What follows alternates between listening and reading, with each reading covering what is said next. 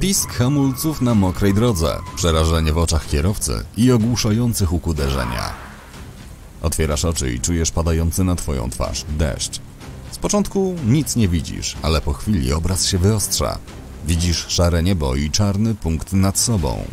Wszystko w porządku? Tak mi przykro, nie widziałem cię. Kierowca pomaga ci wstać. Ten sam, który przed chwilą cię potrącił. Na szczęście, poza podartymi ciuchami nie odniosłeś większych obrażeń. Nawet nie czujesz bólu. Twój egzoszkielet przyjął na siebie całą siłę uderzenia. Kierowca proponuje, żeby wezwać karetkę, ale odmawiasz. Obaj czekacie na przyjazd policji. Mundurowi mówią, że to twoja wina, bo wszedłeś na ulicę w niedozwolonym miejscu. Spotkanie kończy się upomnieniem i wszyscy rozchodzicie się w swoją stronę. W domu zdejmujesz koszulkę i sprawdzasz hitynowe płytki na swoim boku. Na szczęście są całe. Egzoszkielet to doprawdy wspaniały owoc ewolucji. Płytki są wystarczająco twarde, żeby przyjąć na siebie sporą siłę uderzenia bez łamania się. Jednocześnie są bardzo elastyczne i podczas zderzenia zachowują się jak sprężyny. Przypominasz sobie całe zajście i dochodzisz do wniosku, że nie przebiegałeś przez ulicę tak szybko jak kiedyś.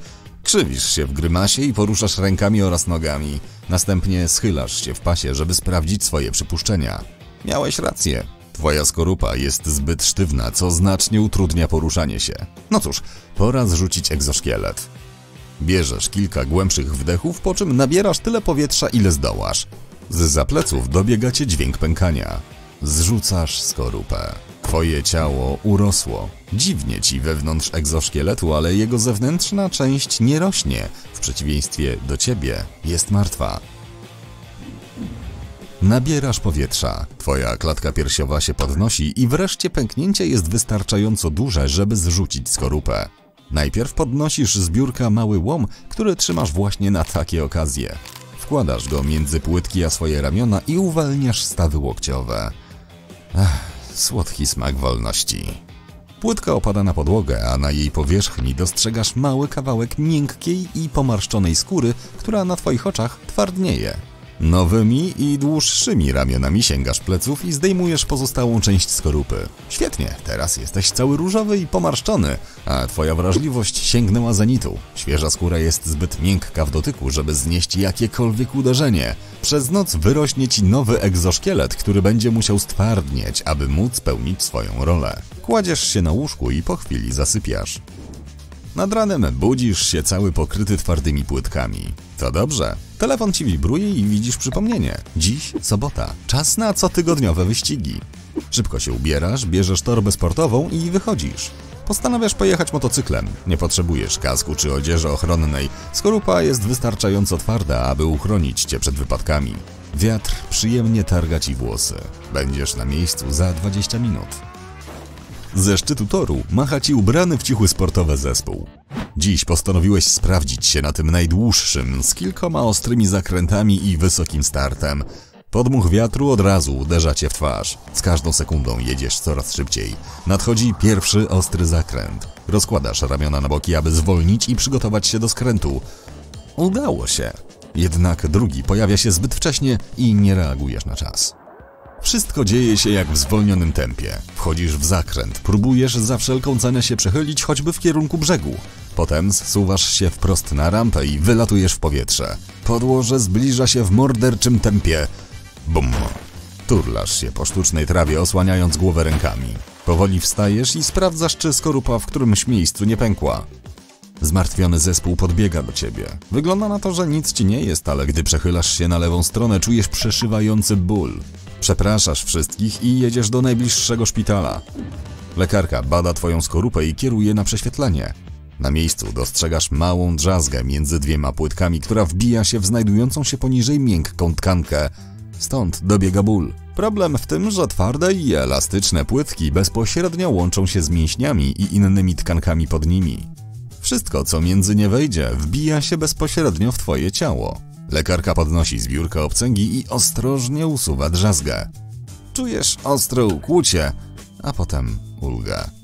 Dziękujesz jej i zbierasz się do wyjścia. Nagle z zafirany na końcu gabinetu słyszysz przejmujące jęczenie.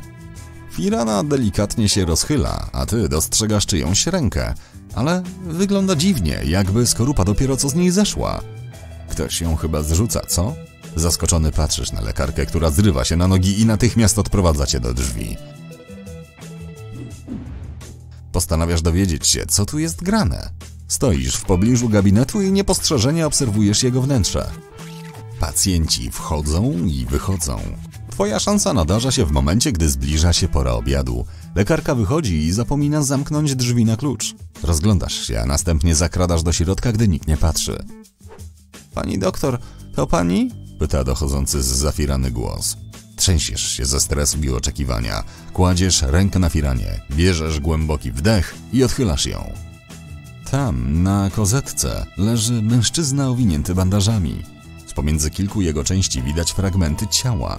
Wygląda jakby w ogóle nie były pokryte chitynową powłoką. Mężczyzna patrzy na ciebie w szoku i gorączkowo wciska przycisk, który trzyma w prawej ręce. Niemal w tej samej chwili drzwi otwierają się z impetem. Czujesz, jak silne ręce chwytają cię pod pachami i wynoszą z gabinetu. Potem czujesz ostre ukłucie w szyję. Świat ciemnieje. Tracisz przytomność. Budzi cię hałas i wstrząsy. Słyszysz przytłumione głosy i nieznacznie otwierasz oczy. Widzisz, że jesteś w samochodzie. Tuż nad tobą siedzi ta sama lekarka, która badała cię w szpitalu, ale jest jakaś taka inna. Ręce i szyję pokrywa skorupa, za to jej twarz wygląda tak nago i żywo. Nagle spogląda na ciebie, a jej oczy robią się jak pięć złotych. Krzyczy zatrzymać samochód i w pośpiechu podnosi coś z siedzenia obok. Nakłada maskę na twarz. Widzisz, że wygląda jak twoja skorupa. Samochód zaczyna zwalniać. To twoja szansa na ucieczkę. Podrywasz się czym prędzej, wyważasz tylne drzwi samochodu i wyskakujesz prosto na podłogę. Niezdarnie lądujesz, potykając się o własne nogi i biegniesz przed siebie. Za plecami słyszysz krzyczącą lekarkę, która prosi, żebyś się zatrzymał i poczekał, ale ty tylko przyspieszasz. Udaje ci się poprosić kogoś o podwózkę do domu, ale kiedy do niego dochodzisz, zauważasz stojący na chodniku podejrzanie wyglądający samochód. Z przerażeniem przypominasz sobie, że podczas badania w szpitalu podałeś swoje dane osobowe. Ci ludzie doskonale wiedzą, kim jesteś i gdzie mieszkasz. Odwracasz się, żeby uciec niezauważonym, ale wpadasz na fałszywą lekarkę. Powoli odchodzisz od niej, ale z samochodu wychodzą dwaj rośli panowie. Rozglądasz się w panice, ale lekarka unosi rękę w geście pokoju i prosi o rozmowę w cztery oczy. Chyba nie masz wyboru. Oboje wchodzicie do domu, a panowie zostają na zewnątrz. Siadacie na fotelach i lekarka ponownie zdejmuje maskę. Okazuje się, że urodziła się z rzadką anomalią genetyczną. Jej szkielet nie rośnie na zewnątrz, a wewnątrz jej ciała. W dodatku ma kostaną strukturę. Inne dzieciaki wyśmiewały ją za to, gdy była mała i przezywali chudą Maryśką. Dlatego wzięła stare skorupy po rodzicach i dostosowała tak, żeby pasowały do jej ciała. Całe swoje życie poświęciła poszukiwaniom innych ludzi podobnych do niej, ukrywając jednocześnie swoją prawdziwą tożsamość przed resztą społeczeństwa. Zdołała znaleźć tylko człowieka, którego widziałeś w gabinecie. Miał wypadek samochodowy i jego stara skorupa nie uchroniła go przed urazami. Potem pojawiłeś się ty. Gdy skończyła swoją opowieść, przeprosiła za swoje poprzednie zachowanie i poprosiła cię o udział w nowym eksperymencie. Chciała dać sobie, tamtemu mężczyźnie i innym ludziom szansę na prowadzenie normalnego życia. Aby to zrobić, potrzebowała fragmentów jeszcze niezrzuconej skorupy. Zapewniła cię, że to bezpieczne, a twoja powłoka, jak zawsze, odrośnie. Po chwili namysłu zgadzasz się na eksperyment. Maria uśmiecha się i ci dziękuję. Jedziecie do wynajętego laboratorium, gdzie kładziesz się na wskazanym fotelu. Na siedzeniu obok widzisz nieprzytomnego Jacka, rannego mężczyznę z jej gabinetu. Maria mówi, że uśpicie i poda znieczulenie ogólne, żeby pobrać próbki twojej skorupy. Kiwasz głową, a ona wstrzykuje ci lek. Budzisz się z uczuciem świeżości w całym ciele. Oglądasz się i widzisz świeżą skórę, która zwolna twardnieje. Zupełnie jak poprzedniego dnia. Nad tobą stoi Maria. Uśmiecha się za łzami w oczach. Patrzysz w bok i widzisz stojącego przy twoim fotelu Jacka z idealnie przylegającą do jego ciała skorupą. Jest rok 2160. Lokalizacja? Pacyfik. Wybrzeże Japonii. Ocean wydaje się spokojny, przynajmniej na powierzchni. W tym momencie dochodzi do pęknięcia dnia. Bum! Ziemia się otwiera, a z jej wnętrza wypływa magma. Szczelina w oceanicznym dnie wywołuje trzęsienie ziemi, a ogromne ilości energii zostają uwolnione do Pacyfiku. A teraz do akcji wkracza grawitacja. Zasysa wodę i sprawia, że porusza się coraz szybciej. To tsunami. Fala wysoka jak drapacz chmur pędzi w kierunku Tokio z prędkością 800 km na godzinę. To miliony ton wody. Fajnie byłoby zrobić zdjęcie, ale niestety nie ma czasu na podziwianie potęgi natury. Tsunami wdziera się do Zatoki Tokijskiej, uderza w brzeg i atakuje największą konstrukcję na świecie. Tokijskie megamiasto w piramidzie, które ma ponad 2000 metrów wysokości.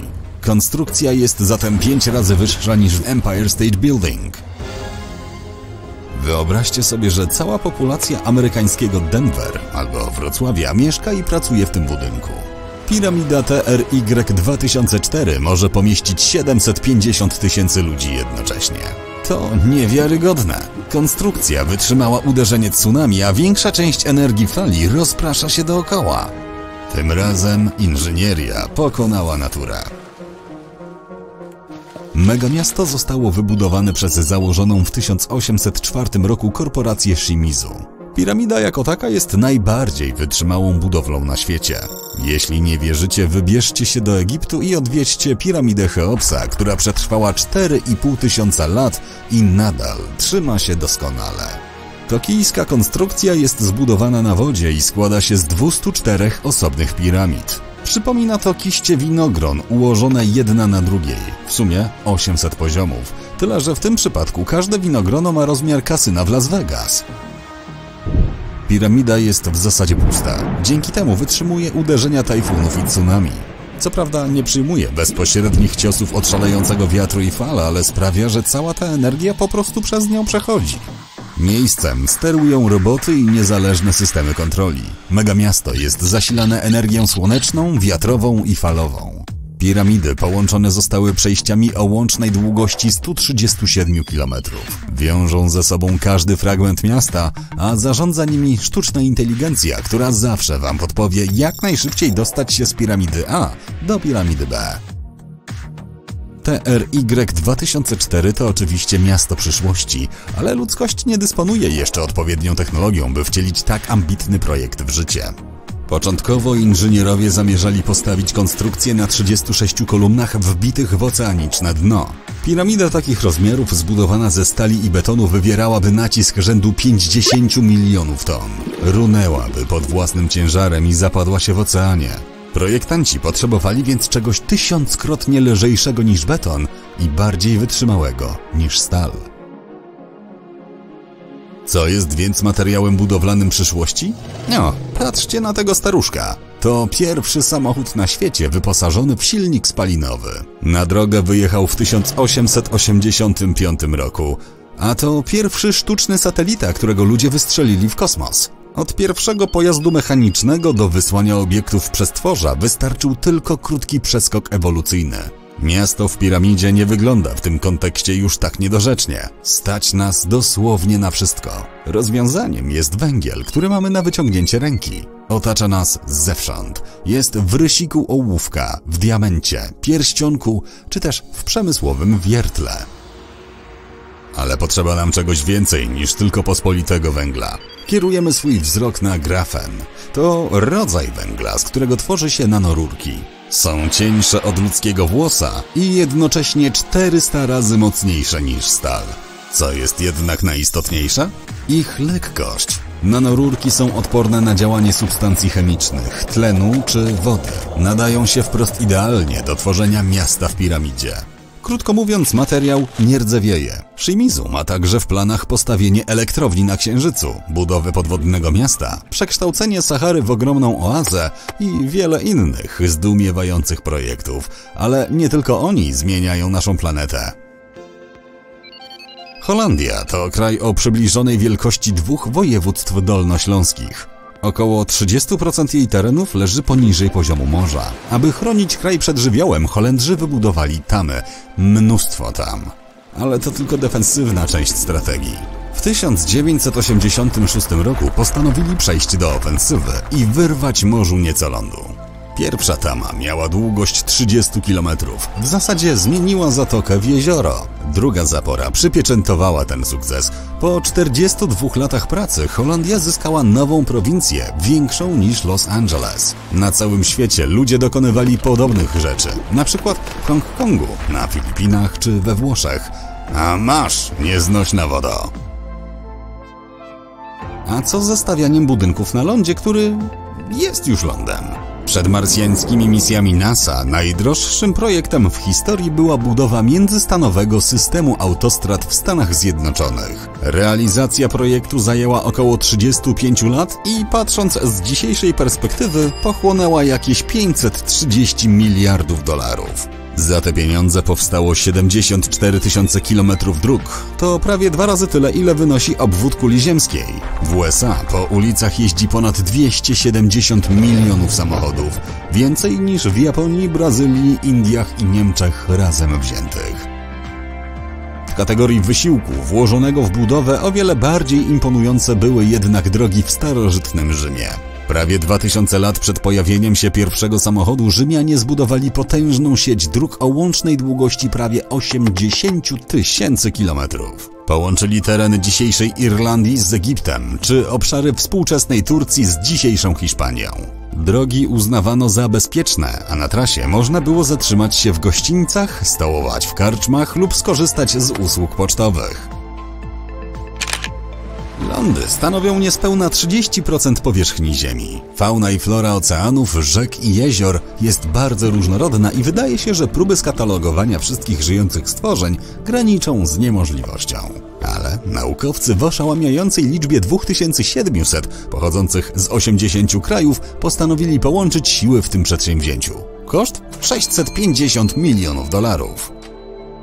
Uczeni poświęcili 10 lat swojego życia na szukanie starych i nowych organizmów zamieszkujących naszą planetę. Był to jeden z największych projektów naukowych w dziejach. Udało im się odkryć około 6 tysięcy nowych gatunków ryb, kałamarnic i wodorostów.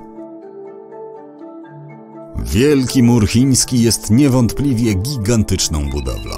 To prawie 22 tysiące kilometrów obmurowań, naturalnych przeszkód i rowów. Dla zobrazowania odległość z Alaski do Australii jest dwukrotnie mniejsza. Mur budowano przez 2000 lat, ale nie było wtedy przecież ciężarówek, buldożerów i elektryczności. Wszystko powstało dzięki sile ludzkich rąk. Współczesne państwo środka też radzi sobie świetnie. W ciągu zaledwie trzech lat Chińczycy zużyli więcej betonu do prac budowlanych niż Stany Zjednoczone przez cały XX wiek. Drogi, miasta, lotniska. Wszystko musi być ogromne. Tama trzech przełomów jest takim dzisiejszym wielkim murem chińskim. Ma ponad 2300 metrów długości i 181 metrów wysokości. Jej budowa pochłonęła trzy razy więcej betonu i stali niż zapora Hoovera.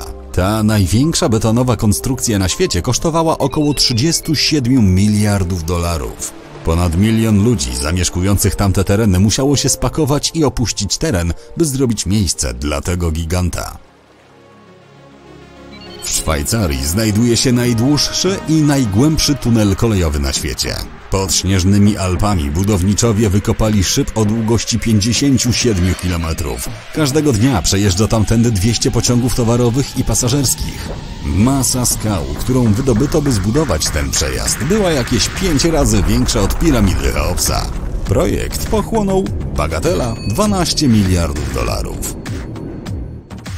Egipcjanie, twórcy jednej z najstarszych cywilizacji w historii, a teraz budują jedno z najnowocześniejszych miast. Będzie wielkie jak Singapur i ma w nim zamieszkać 6 milionów szczęśliwców. W planach jest wzniesienie apartamentów, budynków rządowych, miejsc rozrywki, a nawet opery. A, no i parku, przy którym nowojorski Central Park wyglądać będzie jak zwykłe podwórko. Po ukończeniu budowy miasto stanie się nową stolicą Egiptu. Skąd w ogóle taki pomysł? Cóż, do 2050 roku w Kairze mieszkać będzie około 40 milionów ludzi. Wygląda na to, że będą potrzebowali więcej niż jednego nowego miasta. Pierwszy lot na Księżyc kosztował około 280 miliardów dolarów w przeliczeniu na dzisiejsze pieniądze. Ale SpaceX nie pozwoli, żeby jakiekolwiek koszty pokrzyżowały im plany. Firma planuje budowę kolonii na Marsie, której populacja ma liczyć milion osób do 2050 roku. Ponoć, kiedy program wystartuje, będzie można kupić bilet na Marsa już za 100 tysięcy dolarów. Ale największym projektem naukowym w historii jest zdecydowanie Międzynarodowa Stacja Kosmiczna. Konstrukcja waży tyle co dwa Boeingi 747 i przemierza kosmos z prędkością 28 tysięcy km na godzinę. To prawie 8 km na sekundę. Stacja okrąża Ziemię 16 razy na dobę i trzeba przyznać, że nie należy do najtańszych. Na szczęście mnóstwo państw zrzuca się na jej utrzymanie. Z pewnością ma też najdroższą obsługę hotelową w galaktyce. Koszt dostarczenia butelki wody z Ziemi do stacji kosmicznej wynosi 10 tysięcy dolarów. Przy takich cenach lepiej dopytać, czy ma być gazowana.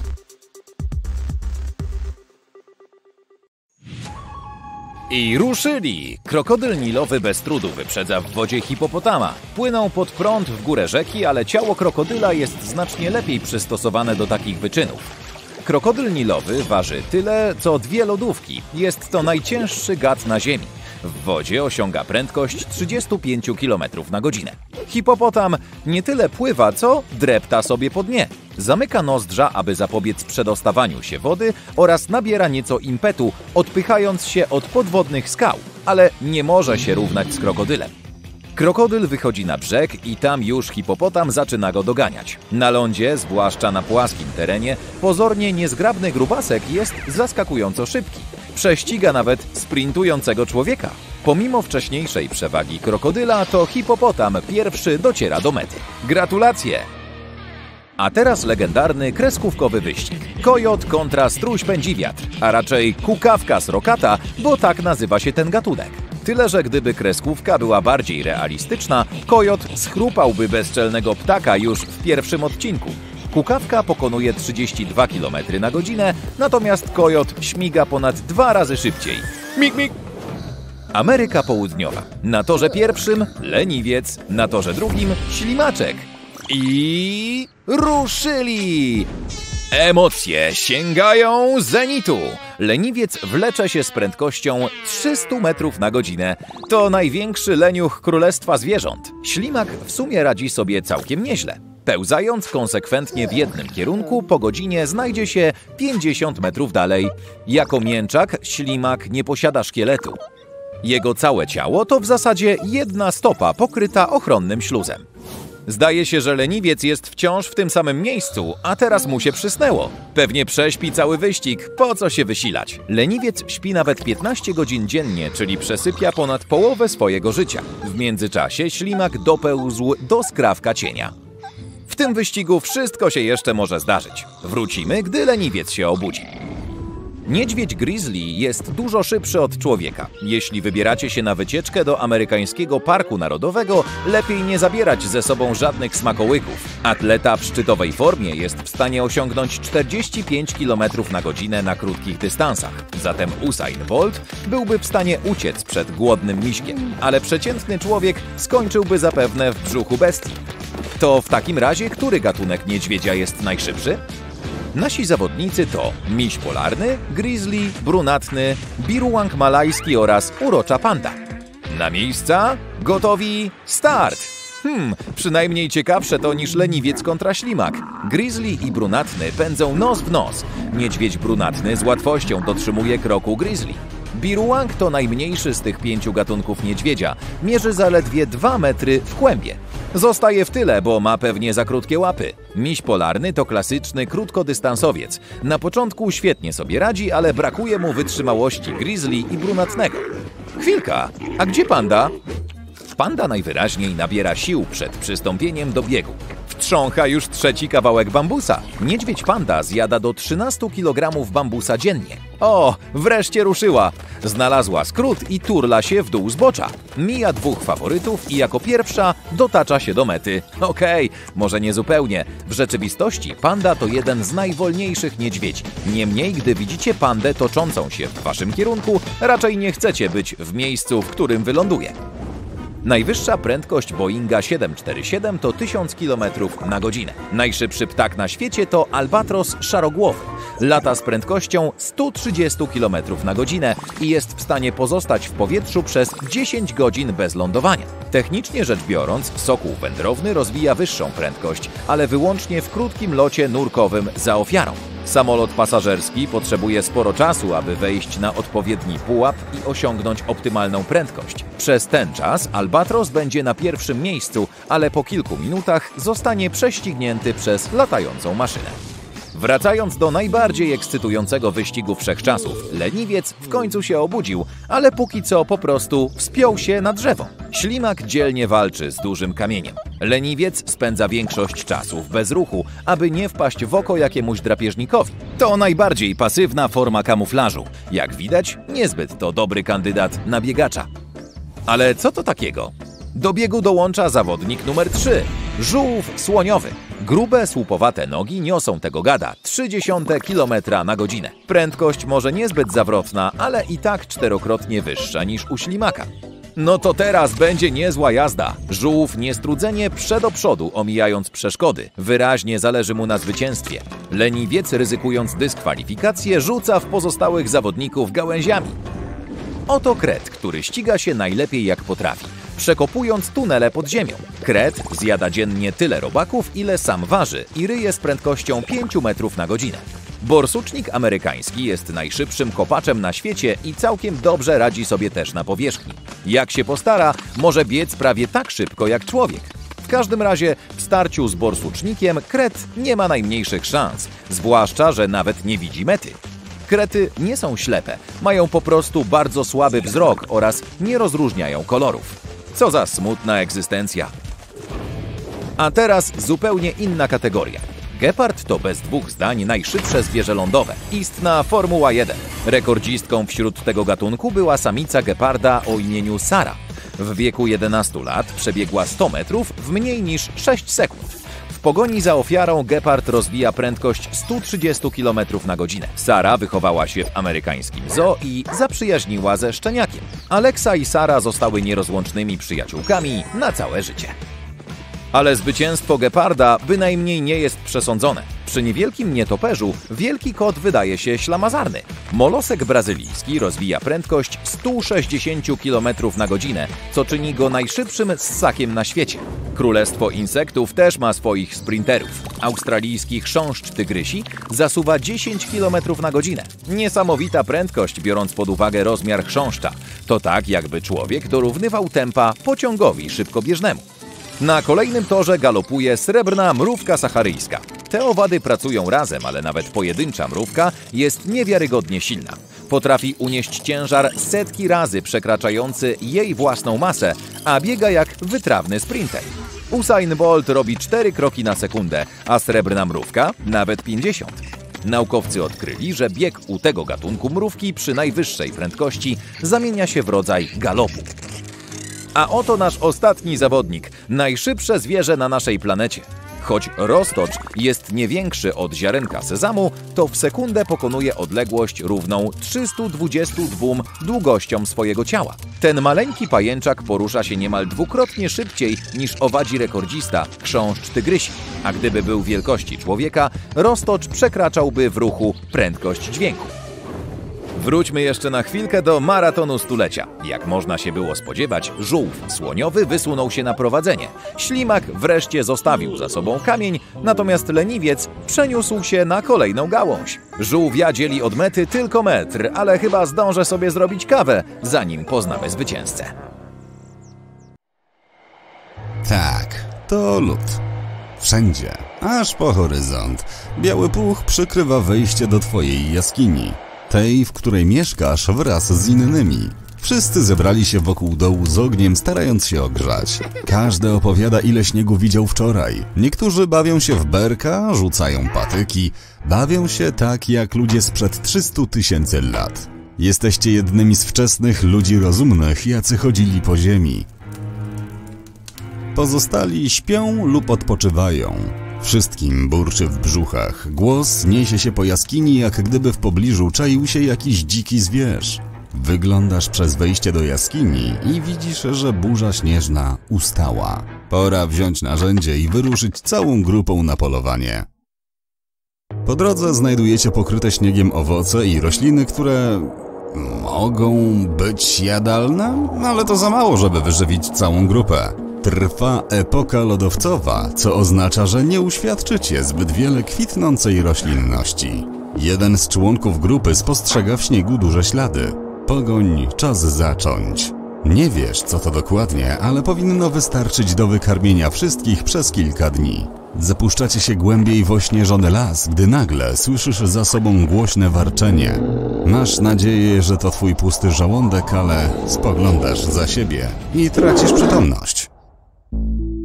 Epoka lodowcowa to okres, podczas którego świat zostaje pokryty lodem, co na zawsze zmieni Ziemię. To właśnie wtedy zmieniał się poziom wód oraz obecny układ kontynentów. Wyobraź sobie monstrualnie grube warstwy lodu pokrywające dzisiejszą Kanadę, Skandynawię, Rosję, a nawet Amerykę Południową. Wszystko to spowodowało drastyczne zmiany poziomu wód oraz dramatyczny spadek temperatur na całym świecie. I nie mówię tylko o jednej epoce lodowcowej, była ich cała masa. Naukowcy mówią, że w dziejach Ziemi było pięć większych epok lodowcowych, które trwały miliony lat. Tak się składa, że jesteśmy w połowie jednej z nich. Ale nie ma powodów do paniki.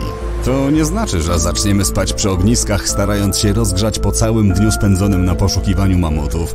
I nie, nie nastąpi masywna, globalna burza śnieżna, która zamrozi wszystko na swej drodze.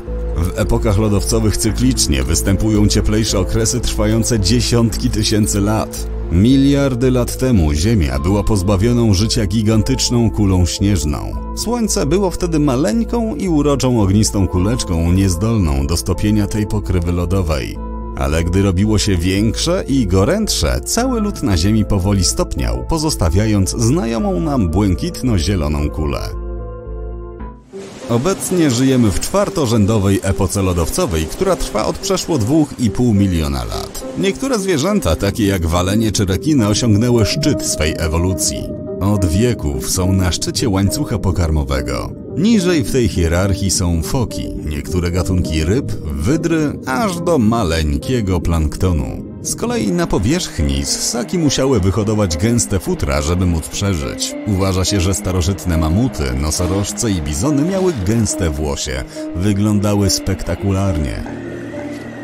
Były one roślinożercami i odżywiały się krzewami oraz wszelką trawą, jaką mogły znaleźć. Kilka tysięcy lat temu temperatury zaczęły wzrastać, co doprowadziło do wyginięcia niektórych gatunków zwierząt. Te, które przetrwały, wyewoluowały do dzisiejszych słoni, hipopotamów oraz nosorożców. Odzyskujesz przytomność i stajesz twarzą w twarz ze stworzeniem, które przypomina dzisiejszego rysia, tyle że jest znacznie większe i ma gęstsze futro. To Smilodon, epicka wersja tygrysa szablozębnego o żądnym krwi spojrzeniu.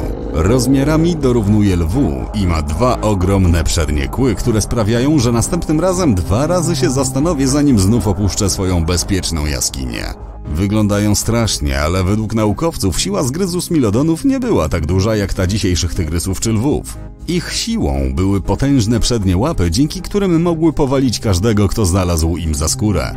Stado smilodonów było w stanie nawet zabić mamuta. Tak czy inaczej nie chciałbyś obudzić się obok tego kocurka. Patrzy na ciebie, gotowy zakończyć twoje życie, ale zachowujecie spokój i powoli się wycofujecie. Wpadasz na genialny pomysł rzucenia w zwierzę kamieniem, żeby go czymś zająć i wtedy uciekacie. Żaden współczesny człowiek nie prześcignie lwa ani tygrysa, ale żyjący w tamtych czasach ludzie mieli znacznie lepszą kondycję. Gdy zagrożenie mija, kontynuujecie poszukiwania pożywienia. Ściemnia się i wciąż nie znaleźliście czegoś, z czym można wrócić do jaskini. Nagle czujesz zapach pieczeni. Daleko przed sobą dostrzegasz wznoszącą się ku niebu cienką kolumnę dymu. Czyżby inni ludzie? Patrzycie po sobie i ostrożnie idziecie w kierunku dymu. Człowiek rozumny pojawił się około 200 do 300 tysięcy lat temu. Ale nasza historia nie wzięła się znikąd. Około 7 milionów lat temu niektórzy z nas stwierdzili, że mają dość. Opuścili swoich szympansich przodków zamieszkujących dżunglę i zaczęli robić swoje. I wydarzyło się to co najmniej kilkukrotnie. W ciągu następnych milionów lat istniało już ponad 20 różnych gatunków ludzi. Niektóre z nich były naszymi przodkami, a inne zalążkami zupełnie innych. Jedne były niższe, a drugie lepiej przystosowane do gorącego czy mroźnego klimatu. Tuż po wejściu do jaskini zauważacie gotujących mięso i ostrzących narzędzia neandertalczyków. Jako pierwsi osiedlili się w Europie. Naukowcy uważają, że pojawili się tam gdzieś między 40 tysięcy a 400 tysięcy lat temu. Zamieszkiwali wszystkie zakątki między Europą a Azją, podczas gdy ludzie rozumni, czyli my, wciąż byli w Afryce. Wchodzicie głębiej i od razu spostrzegacie różnice między sobą. Są krępi i wyglądają nieco inaczej, ale jest też kilka podobieństw. Na przykład spłaszczone zęby służące przeżuwaniu oraz duże czaszki mogące pomieścić ich równie duże mózgi. Mają nawet ubrania zupełnie jak wy. Według archeologów zamieszkiwali jaskinie i wytwarzali narzędzia z kamieni, patyków oraz kości. Zapraszają Was do środka i organizują jedyną w swoim rodzaju wycieczkę. Oficjalnie poznajecie przedstawicieli innego gatunku. Zabierają Was w głąb swojej jaskini i pokazują malowidła ścienne. Byli pierwszymi artystami swoich czasów. Wiele ich galerii przetrwało do dziś, jak te we francuskich jaskiniach. Znacie ich styl. Minimalistyczne malowidła zwierzyny czy duże odciski dłoni. Parali się również produkcją biżuterii. Robili naszyjniki ze szponów orłów oraz kłów dzikich zwierząt. Prawdopodobnie jako pierwsi okiełznali potęgę ognia. Czy odkryli go po uderzeniu pioruna w drzewo, czy też dzięki iskrze przeskakującej po potarciu kamienia o kamień, nie wiadomo. Zdołali jednak powtórzyć to doświadczenie i wykorzystywać ogień do ogrzania się, gotowania, widzenia w ciemności oraz obrony własnej. Po wycieczce spędzacie przy ogniu chwilę, żeby się rozgrzać. Oferują wam nawet dodatkowe ubrania na podróż powrotną. W większości są to grube mamucie futra. Gdybyście tylko potrafili mówić, to dopiero byłoby świetne. Ale już się ściemnia i pora wracać do domu. Żegnacie się i dziękujecie za lekcję nauki rysowania jelenia oraz za wór jedzenia, który wam podarowali. Epoka lodowcowa była ważna z punktu widzenia rozwoju człowieka współczesnego. Ze względu na ekstremalny mróz i trudne warunki ówcześni ludzie musieli się zaadaptować, aby przetrwać, wykazać się nietuzinkowym sprytem i być innowacyjni. Stworzyli zaawansowane narzędzia i nawet szyli ubrania kościanymi igłami. Niewykluczone, że zorganizowali pierwszy w dziejach pokaz mody. Gdy klimat zaczął się ocieplać, rozwinęli rolnictwo, dzięki któremu mogli się wyżywić i zwykle żyli w pobliżu większych zbiorników wodnych, takich jak rzeki czy jeziora. Inni wybrali morza i oceany. Oni, znaczy się my, byli pierwszymi, którzy oswoili zwierzęta.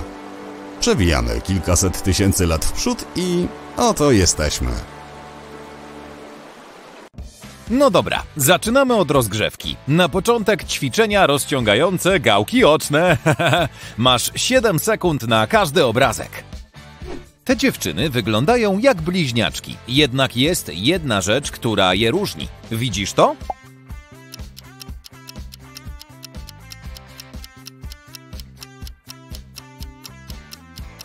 Tylko jedna z nich ma uroczo zaróżowione policzki. Piękne te wzorki, wyglądają identycznie, ale czy faktycznie tak jest?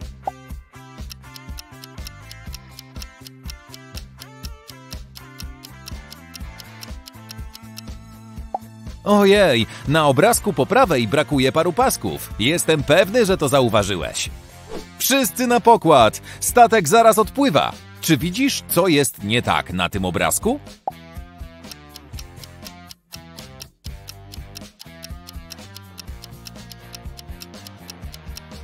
Wejście do doku jest za wąskie dla statku o takich gabarytach i w sumie dla każdego innego.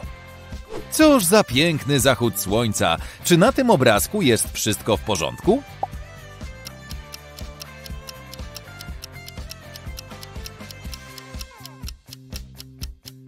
Kolory są wręcz idealne, ale słońce nie zachodzi o drugiej.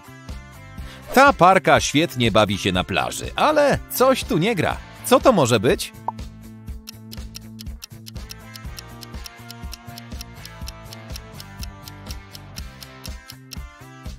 Cóż, na niebie nie może być dwóch księżyców. Czy zjadłbyś te winogrona? A może widzisz tu jakiś problem?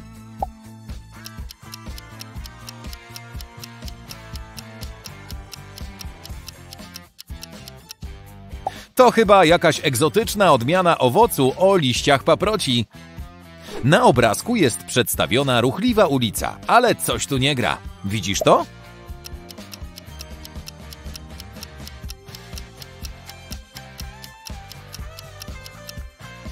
Wygląda na to, że z prawego pasa nie można skręcić w prawo, a więc w jakim celu umieszczono ten znak? W biurze jest zawsze mnóstwo do roboty. Nic dziwnego, że dochodzi do pomyłek. Widzisz tu jakiś błąd?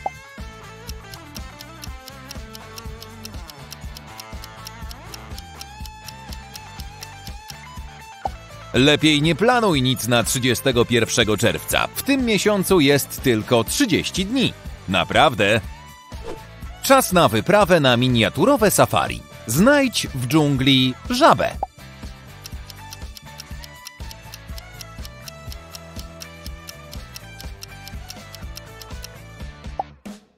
Tu jest!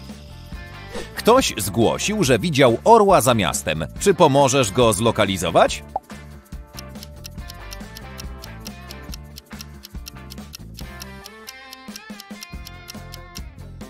Świetna robota!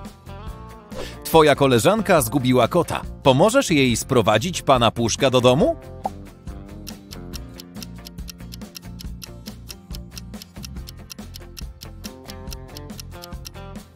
Jej, pan Puszek jest uratowany! Ktoś powiedział, że widział w polu węża. Znajdź go, zanim zrobi się niebezpiecznie.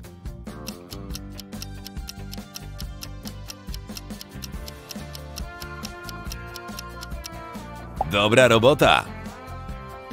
Mała żabka uciekła z akwarium. Czy widzisz, gdzie się schowała?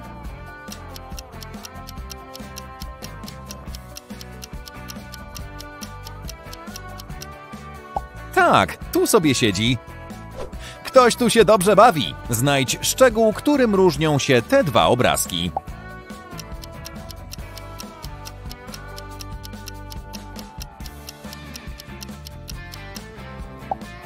Łatwizna. Morze wzywa. Znajdź pięć szczegółów, którymi różnią się te dwa obrazki.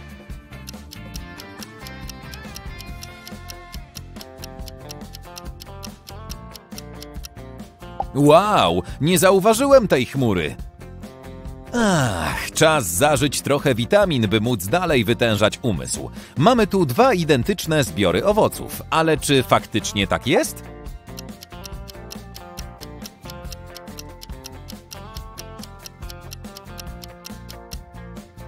Różnią się tylko jabłkami. Jesteś gotowy na przygodę w balonie? Wyruszamy, jak tylko znajdziesz pięć różnic między tymi obrazkami.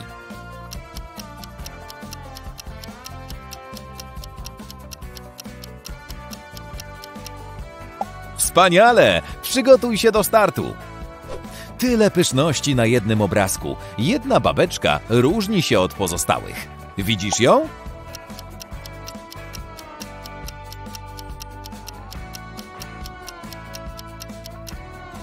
To było łatwe. Gdyby wszyscy artyści z tego obrazka połączyli siły, mogliby pomalować cały świat. Wszyscy wyglądają tak samo, z wyjątkiem jednej osoby.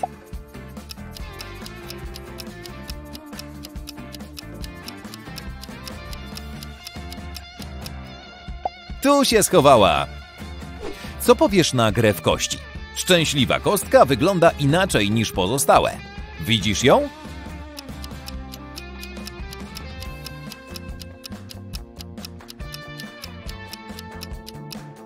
Teraz szczęście już cię nie opuści. Nie ma dwóch takich samych podróży samochodem, nawet jeśli jedziesz tą samą trasą. Znajdź na obrazku pięć dowodów.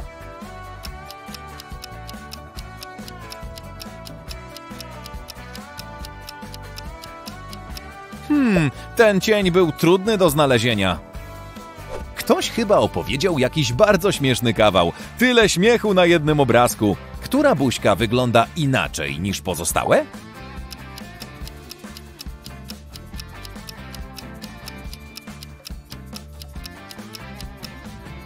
O, tu się schowała. Świeci słonko i wszyscy się cieszą. Znajdź pięć różnic między tymi obrazkami, a udzieli ci się dobry nastrój.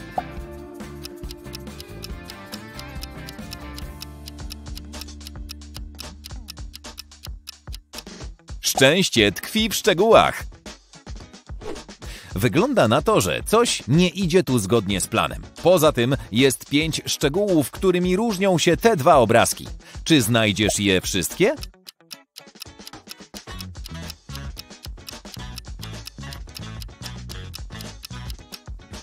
Kółka, trawa, opaska na głowie, a więc to tak. Czas wybrać się na plażę. I znowu twoim zadaniem jest odnaleźć pięć różnic między tymi dwoma obrazkami.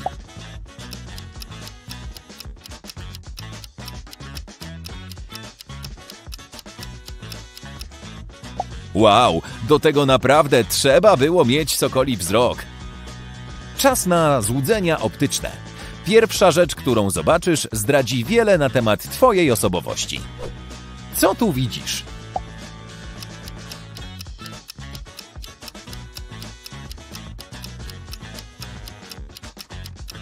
Jeśli najpierw zobaczyłeś dwa krokodyle, to znak, że zawsze starasz się mieć wszystko pod kontrolą i lubisz rządzić. Jeśli zauważyłeś ptaka, jesteś bardzo życzliwą i towarzyską osobą i w każdej sytuacji dążysz do kompromisu. A tutaj?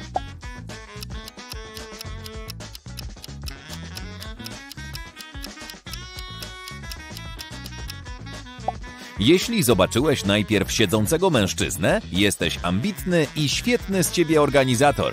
Jeśli jako pierwsza twój wzrok przykuła twarz, masz kreatywną duszę i w zwyczajnych rzeczach zawsze dostrzegasz coś, czego inni nie widzą. Ten obrazek wydaje się taki zwyczajny, ale czy faktycznie tak jest?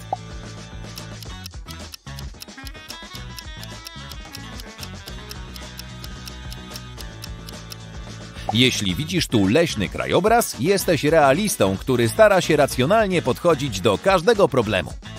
Jeśli zauważyłeś tu węża, małpę, krokodyla i inne zwierzęta, prawdopodobnie jesteś typem artysty. Zwracasz dużą uwagę na szczegóły.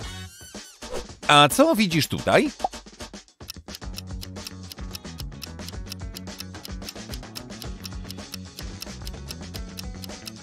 Czy najpierw zobaczyłeś dwie wiewiórki? Musisz być wspaniałym przyjacielem. Nie wyobrażasz sobie dnia bez towarzystwa innych ludzi. Jeśli najpierw dostrzegłeś twarz młodej kobiety, to nawet gdy jesteś sam, nie czujesz się samotny i czasem cenisz sobie tę ciszę.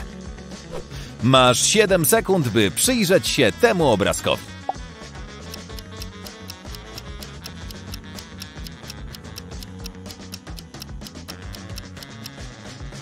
Jeśli na pierwszy rzut oka widzisz tu dwóch mężczyzn na koniach, jesteś osobą aktywną, zdecydowaną i nic cię nie powstrzyma, jeśli wiesz, czego chcesz. Jeśli widzisz tu twarz starszej pani, zanim coś zrobisz, dwa razy się zastanawiasz i zawsze rozważasz wszystkie możliwe konsekwencje. A tutaj?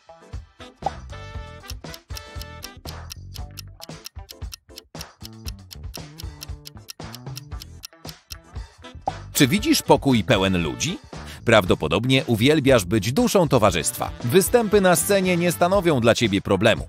Jeśli widzisz twarz w oknie, najlepiej czujesz się, kiedy nie skupiasz na sobie spojrzeń. Lubisz pomagać ludziom i szczerze cieszysz się z ich sukcesów. Powodzenia z tym obrazkiem, znowu masz 7 sekund.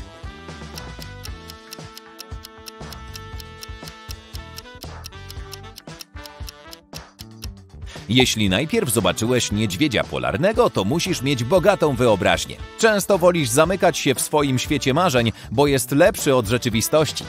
Jeśli zauważyłeś pomalowane ręce, akceptujesz wszystko takim, jakie jest i z każdej sytuacji starasz się wyciągnąć to, co najlepsze.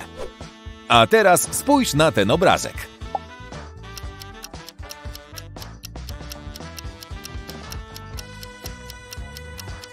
Jeśli wygląda ci to na łabędzia, twoim najlepszym przyjacielem jest logika. Postrzegasz rzeczy takimi, jakie są i potrafisz rozwiązać każdy problem. Jeśli bardziej przypomina ci to wiewiórkę, jesteś nie do powstrzymania i stawiasz sobie cel za celem. Nie pozwalasz, żeby twoje błędy cię zatrzymały. wyciągasz wnioski i brniesz do przodu. A tu, co widzisz?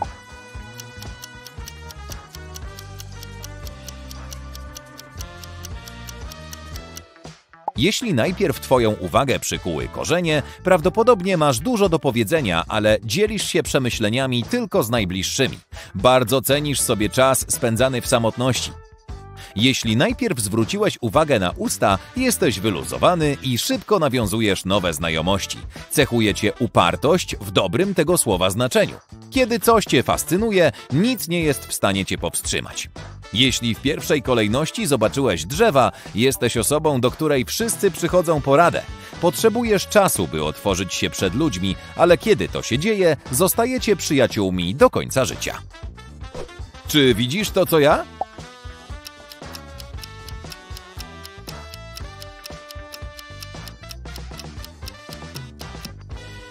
Jeśli widzisz tańczącą parę, to pewnie jesteś w zgranym związku albo niedługo poznasz kogoś wyjątkowego. Miłość traktujesz jak partnerstwo na równych zasadach. Jeśli najpierw zobaczyłeś dwa drzewa, miłość jest dla ciebie pokonywaniem przeszkód. Nie lubisz działać w pośpiechu i to ci służy. Jeśli widzisz tu mężczyznę z wąsami, być może wydaje ci się, że w tym momencie lepiej, żebyś był sam. Nie spiesz się, odkrywaj siebie, a jeśli jest ci dopisane, to sytuacja się zmieni. Powodzenia! Tak, wreszcie ci się udało. Osiągnąłeś świadomy sen, e, czyli stan, kiedy śnisz i nagle stajesz się świadomy siebie. E, Pogrążony w takich sennych marzeniach, możesz zrobić wszystko, co tylko chcesz, e, mieć magiczne moce, poruszać obiekty siłą umysłu, jeździć na latającym rowerze, łowić ryby siedząc na chmurze. Mm, To wspaniałe, ale tak niestety jest tu pewne ale. Bez względu na to, jak cudowny wydaje się świat snów, istnieje kilka rzeczy, których lepiej unikać. Znajdujesz się w jakimś domu, ale nie jesteś pewien, czy to sen. Widzisz tam drogę, za nią gęsty las, no i ten domek. Hmm. Jest stary, ale bardzo schludny i czysty. Stoisz w długim korytarzu. Po lewej znajduje się piękny, staromodny salon. A może by tak wejść do środka? Promienie słońca łagodnie przenikają przez zasłony.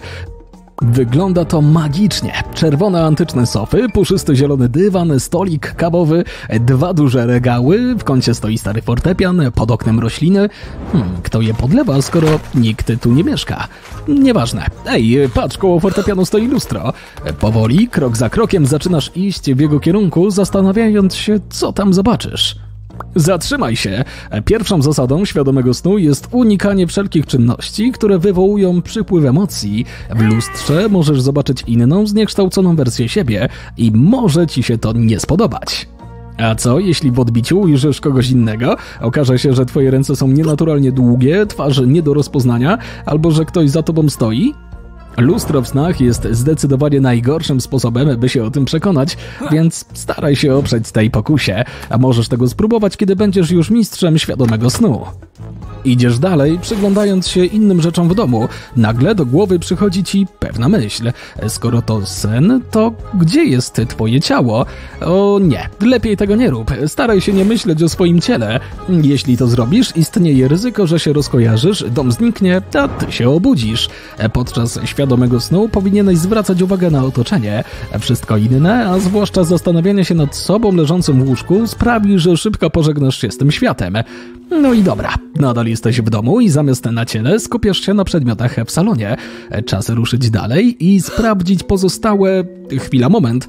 Nagle uzmysławiasz sobie, że przebywasz zupełnie sam w starym, przerażającym domku. Dlaczego wszedłeś do środka? Co ty sobie myślałeś? Czujesz się bardzo nieswojo. A co jeśli ktoś tu mieszka? Na razie zwiedziłeś tylko salon. Odwracasz się i cofasz na korytarz. Okej, drzwi, którymi wszedłeś do środka, nadal tu są, ale twoim oczom ukazują się też drewniane schody. Nie za bardzo widać, dokąd prowadzą. Czy nagle pociemniało? Czy to słońce zachodzi? Aaaa! W głowie pojawiają się wszystkie twoje największe lęki. Nagle słyszysz syk węży i czy to odgłos jakiegoś wielkiego zwierzęcia? Może dinozaura? O nie, kurczak też tu jest. Wszystkie twoje największe fobie skumulowały się w jednym miejscu. Ziemia zaczyna się trząść, wpadasz w panikę i rzucasz się do ucieczki. O nie, drzwi zniknęły. Robisz krok i wpadasz w bezdenną otchłań, co sprowadza nas do drugiej rzeczy, której należy unikać. Staraj się nie myśleć o tym, co cię przeraża i co sprawia, że czujesz się nieswojo.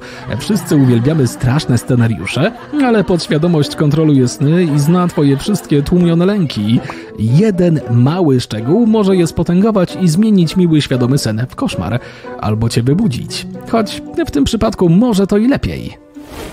Koncentrujesz się ponownie na miłych rzeczach w domu, a ciemność znika.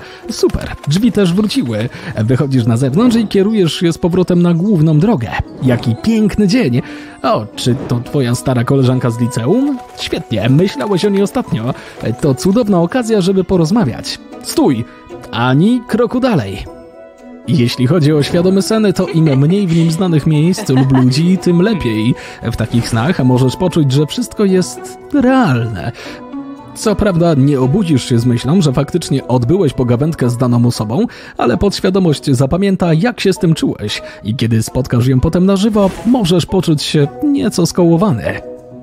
Świadome sny mogą tworzyć fałszywe wspomnienia, które prowadzą potem do różnych problemów w normalnym świecie. A zatem dom, droga, gęsty las, czy twój umysł sam to wymyślił? Oczywiście. Żyrafy nie są aż tak wysokie, żeby ich głowy przebijały się przez chmury. Nie da się też podlecieć na czubek drzewa, żeby zerwać z niego jabłko, a słonie nie noszą okazałych naszyjników i kolczyków. W świecie snów nie ma żadnych ograniczeń.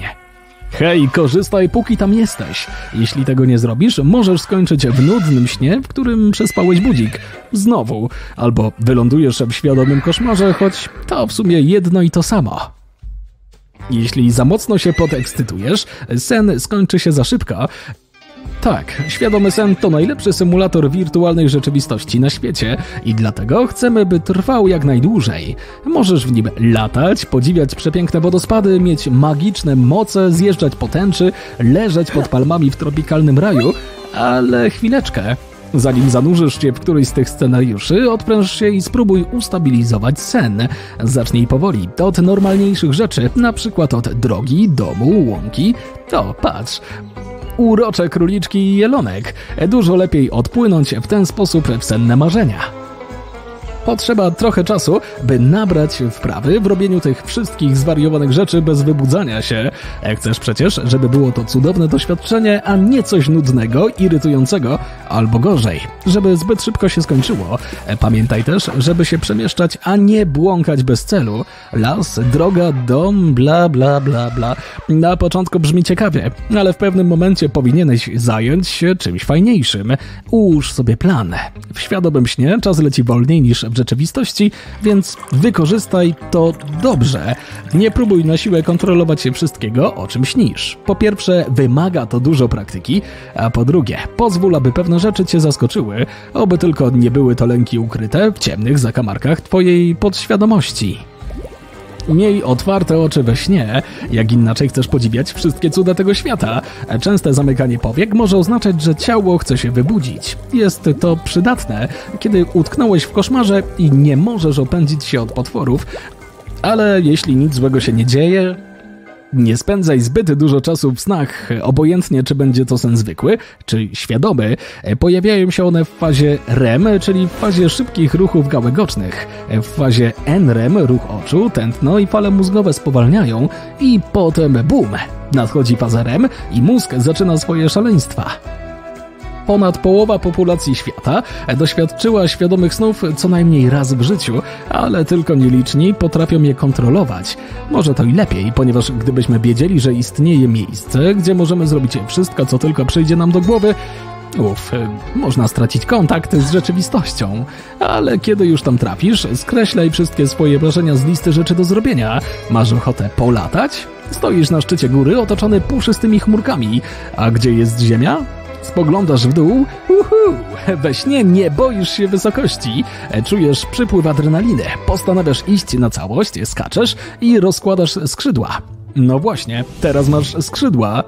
A może, tak jak ja, wolisz zanurkować w morskie głębiny, siedzisz w małej łódce, bierzesz kilka głębokich oddechów i czujesz, jak rześkie powietrze przenika do płuc. Ostatni wdech, kucasz i skaczesz do wody. Najlepsze jest to, że we śnie słona woda nie szczypie w oczy.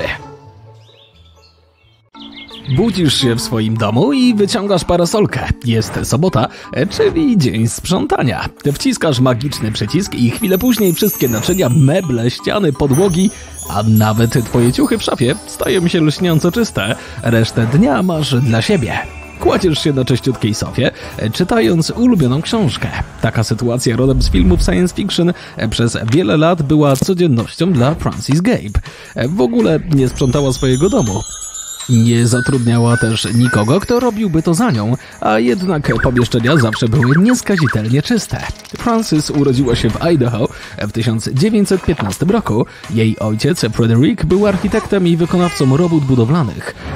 Ze względu na jego pracę rodzina musiała się wielokrotnie przeprowadzać, w wyniku czego Frances uczęszczała do 18 szkół podstawowych. Twierdziła, że od urodzenia była niezwykle oryginalna i że dla niej wszystko w szkole działo się zbyt wolno. Zamiast spędzać czas z rówieśnikami, Frances wolała towarzystwo swojego ojca i jego współpracowników. Przyglądała się i uczyła tajników ich zawodu. W wieku 16 lat ukończyła liceum techniczne dla dziewcząt w Portland, a rok później wyszła za mąż. W późnych latach 70. ubiegłego wieku rozwiodła się i samotnie wychowywała dwoje dzieci. Sprzątanie od zawsze było dla niej niewdzięczną i niekończącą się pracą. Pewnego dnia zauważyła spływający po ścianie dżem figowy. Tak się wściekła, że postanowiła położyć temu kres. Wzięła wąż ogrodowy, zmyła dżem ze ściany i zaczęła projektować własny, samoczyszczący się dom. Transformacja oregońskiego domku w gigantyczną zmywarkę trwała ponad dekadę i kosztowała Francis tysiące dolarów. W 1984 nareszcie wszystko było gotowe. Francis oficjalnie opatentowała projekt swojego samoczyszczącego się domu. Konstrukcja składała się z 68 oddzielnych urządzeń, które w całości zautomatyzowały sprzątanie. Na sufitach każdego pokoju były zamontowane spryskiwacze. Frances wkładała sztorniak, brała parasolkę i przyciskiem włączała spryskiwacze. Najpierw okrężnymi ruchami zwilżały i namydlały pomieszczenia, a następnie spłukiwały. Potem wpadające przez otwory wentylacyjne ciepłe powietrze suszyło wnętrza. W mniej niż godzinę ściany, podłogi, łazienka, toaleta i wanna stawały się nieskazitelnie czyste i suche. Podłogi były pokryte wieloma warstwami lakieru okrętowego oraz delikatnie pochylone przy ścianach, gdzie znajdowały się odpływy. Woda ze spryskiwaczy nie marnowała się. Była odprowadzana z domu i kierowana na budę, żeby przy okazji umyć psa. Meble, które miały zostać suche, przykryte były przezroczystymi pokrowcami wykonanymi z żywicy. Książki miały wodoodporne okładki. Dokumenty schowano w plastikowych pudełkach, a obrazy na ścianach, włącznie z oprawionym patentem, znajdowały się w szklanych gablotach. Łóżka zaś były chronione baldachimami. Frances wynalazła swój własny wodoodporny materiał, którym pokrywała tapicerkę. Naczynia w specjalnej szapce same się zmywały. Ubrania, które wisiały na wieszakach w szafie, były prane i suszone, a potem tak wyczyszczona odzież wjeżdżała z powrotem do garderoby. Gniazdka były oczywiście odpowiednio zabezpieczone. W domu Frances nie było wykładzin, zasłon czy jakichkolwiek innych powierzchni, na których osiadałby kurz. Zdarzało się, że rury pękały, rozpryskując wodę we wszystkich kierunkach, ale dom funkcjonował bez większych usterek przez około 20 lat. Frances marzyła o większej ilości podobnych domów, a nawet samoczyszczących się biur, szpitali i całych miast na świecie. Chciała pomóc samotnym matkom i generalnie kobietom zmęczonym sprzątaniem oraz ludziom, którzy ze względów zdrowotnych nie mogli utrzymać swoich domów w czystości. Podróżowała po całych Stanach, prowadząc wykłady na temat swojego wynalazku i prezentując jego model. Gościła w wielu gazetach oraz w telewizji, ale jej pomysł nigdy nie doczekał się realizacji. W 2002 nie była w stanie dłużej prowadzić domu oraz odnawiać patentów, które ostatecznie wygasły. Frances organizowała wycieczki po swoim domu, żeby cokolwiek zarobić, ale to nie wystarczyło. Problemy finansowe oraz klęski żywiołowe, takie jak powodzi i trzęsienia ziemi, przeistoczyły na najczystszy dom w Stanach w ruinę. W 2009 Frances przeprowadziła się do domu seniora. Kilka lat później jej dom sprzedano nowemu właścicielowi, który musi teraz samodzielnie o niego dbać. Wielu ludzi wyśmiewało pomysł wynalazczyni, a rewolucja samoczyszczących się domów nigdy nie nastąpiła. Mimo to architekci i budowniczy przyznają, że projekt Frances był praktyczny i warty wprowadzenia w życie. W 1998, gdy komputery stały się nieodłączną częścią naszego życia, ktoś wpadł na genialny pomysł, który potem opatentował. Motywujący podajnik słodyczy miał być zaopatrzony w czujnik optyczny zainstalowany w monitorze, śledził on aktywność pracowników i nagradzał ich cukierkami za każdą wysłaną wiadomość lub ukończenie długiego raportu. Im więcej wykonanych poleceń służbowych, tym więcej otrzymanych słodyczy.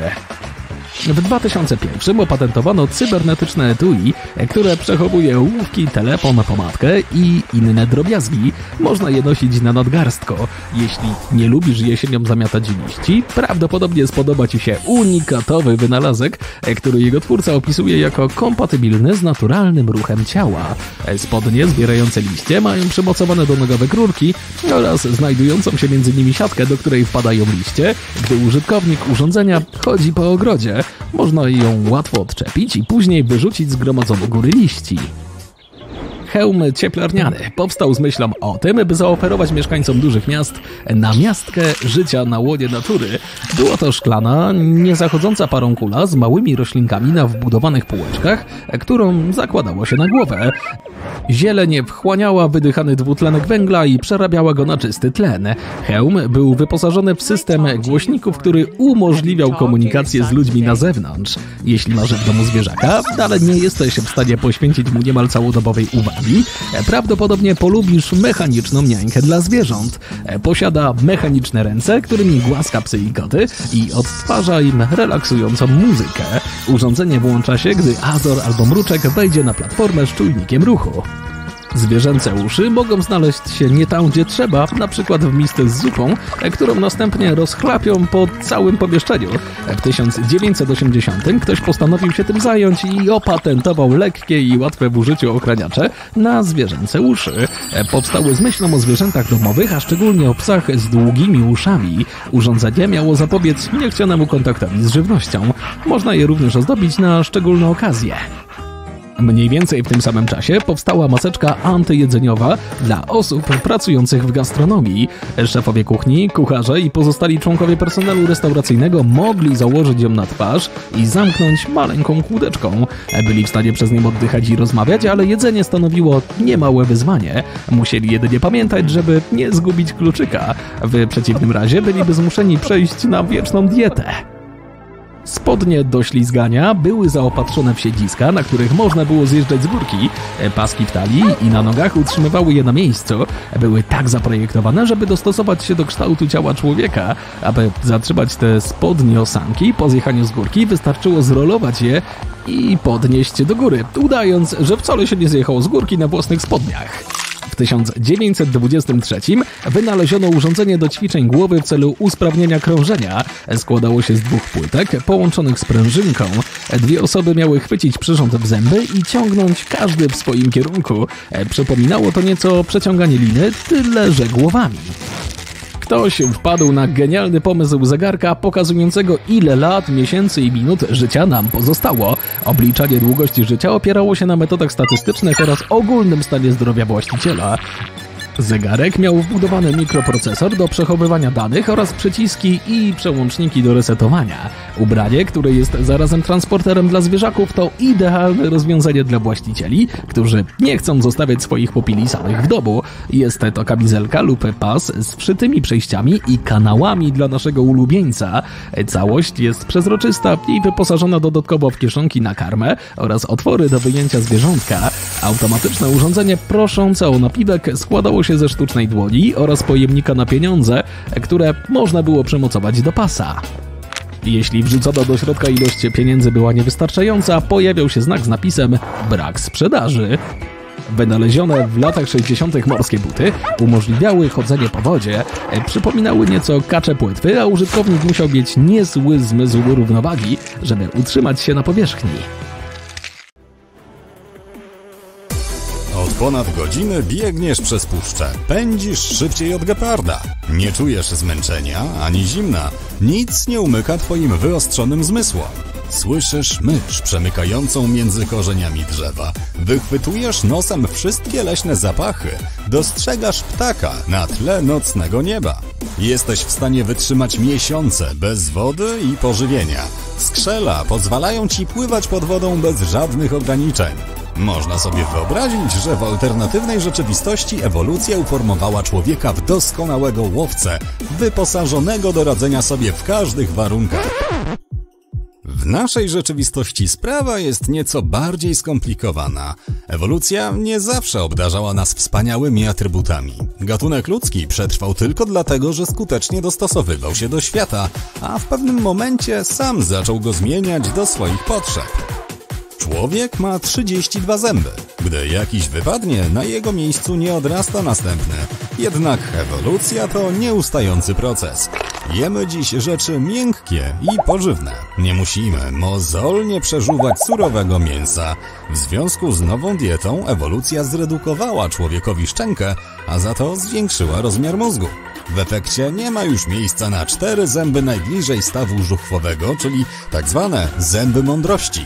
Nawet obecnie 35% populacji nie ma zębów mądrości, a w przyszłości znikną zupełnie. Homo sapiens to jedyny ssak posiadający wysunięty podbródek w dolnej części żuchwy. Podbródka nie mają nawet nasi najbliżsi krewni, goryle oraz szympansy. Według antropologów broda to zaszłość po ewolucyjnej redukcji ludzkiej twarzy. Być może u naszych prehistorycznych przodków podbródek utrzymywał potężne szczęki i pomagał w przeżuwaniu. Na przestrzeni milionów lat ludzka twarz uległa skurczeniu, jednak broda pozostała. Połóż dłoń na płaskiej powierzchni. Dotknij kciuka palcem serdecznym. Teraz zegnij dłoń w nadgarstku, a na przedramieniu zobaczysz palmaris longus. Mięsień dłoniowy długi. Albo nie zobaczysz, gdyż mięsień ten zanichł już u 15% populacji. Jego brak nie wpływa na siłę chwytu, jednak przed milionami lat pomagał naszym przodkom szybko wspinać się na drzewa. Ewolucja pozbawiła nas tej umiejętności, a na pamiątkę zostawiła nam Palmaris longus, przynajmniej na jakiś czas. Psy, konie, małpy i wiele innych zwierząt potrafi strzyc uszami. Pozwala im to lepiej słyszeć oraz komunikować się ze sobą. Współczesny człowiek ma stosunkowo długą, giętką szyję, która skutecznie zastępuje konieczność ruszania uszami, a jednak 20% populacji posiada tą umiejętność. To kolejne przypomnienie czasów, kiedy nie różniliśmy się znacząco od innych zwierząt.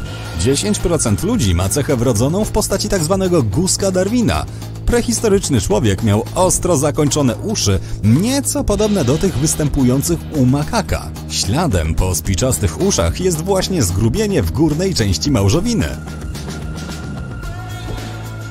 Po złożeniu jaj samica pingwina cesarskiego pości przez 115 dni. Skorpion może obyć się bez pożywienia przez cały rok. Ewolucja poskąpiła nam wielbłądziego garba do gromadzenia tłuszczu, tudzież zdolności zimowej hibernacji. Każdego dnia nasi przodkowie musieli walczyć o przetrwanie.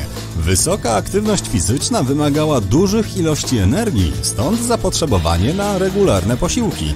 To niezbyt dogodny stan rzeczy, zwłaszcza gdy jedzenie ucieka, albo jeszcze gorzej, goni cię, zamiast leżeć grzecznie na półkach sklepowych.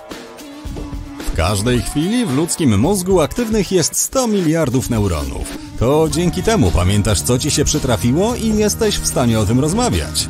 Jeśli chodzi o przetrwanie, duży mózg jest niezaprzeczalnym atutem, jednak posiada również sporą wadę. Zużywa sporo paliwa. Choć mózg stanowi zaledwie 2,5% wagi ciała, pochłania aż 20% dostarczanej organizmowi energii. Po dwóch godzinach zaciętej gry szachista spali 560 kalorii, a tenisista zużyje tę samą energię w ciągu jednej godziny. Wzrost mózgu uczynił z człowieka słabeusza. Nawet przeciętny szympans jest od nas silniejszy. Po co nam mięśnie, skoro nie skaczemy już po drzewach? Duży mózg przydaje się natomiast podczas interakcji, przede wszystkim współpracy z innymi przedstawicielami gatunku. Im mniejsza stawała się potrzeba fizycznego wysiłku, tym bardziej człowiek przeistaczał się w homo leniuchowca. Leżanie na kanapie to bądź co bądź wygodna pozycja do główkowania. Dla naszych przodków noc była czasem grozy. Gdy przebywasz w nowym miejscu, możesz mieć problem z zaśnięciem, ponieważ lewa półkula pozostaje bardziej aktywna od prawej. Naukowcy nazwali ten fenomen efektem pierwszej nocy. Sen jednopółkulowy chronił prehistorycznych ludzi przed czyhającym w ciemności niebezpieczeństwem. Kilkadziesiąt milionów lat temu ewolucja użyczyła nam zdrowego lęku przed ugryzieniem przez węża albo pająka. Najwyraźniej jadowite zwierzęta stanowiły główne zagrożenie dla pierwszych naczelnych. Według antropologów człowiek rozwinął umiejętność biegania 2 miliony lat temu. Szerokie ramiona ułatwiają machanie rękami w celu zachowania równowagi przy szybkim ruchu. Człowiek posiada specjalne więzadło łączące tył głowy z kręgosłupem, które stabilizuje ją podczas biegu. Ssaki naczelne nie mają silnych mięśni pośladkowych. Te mięśnie rozwijają się wyłącznie w trakcie biegania. Ludzie są wspaniałymi biegaczami, gdyż brak owłosienia plus 3 miliony gruczołów potowych skutecznie przeciwdziałają przegrzewaniu organizmu. Jesteśmy za to powolni. Na krótkich odległościach nie prześcigniesz choćby szympansa, nie wspominając o gepardzie, który rozwija niesamowitą prędkość 112 km na godzinę. Z drugiej strony niemal wszystkie zwierzęta lądowe to sprinterzy, niezdolni do utrzymania prędkości dłużej niż 10-15 minut. Natomiast człowiek został przez ewolucję wyposażony do biegów długodystansowych. Dwunożność okazała się dla naszych przodków prawdziwym błogosławieństwem. Po pierwsze, ręce mogły wreszcie chwycić pokarm, a później także manipulować narzędziami.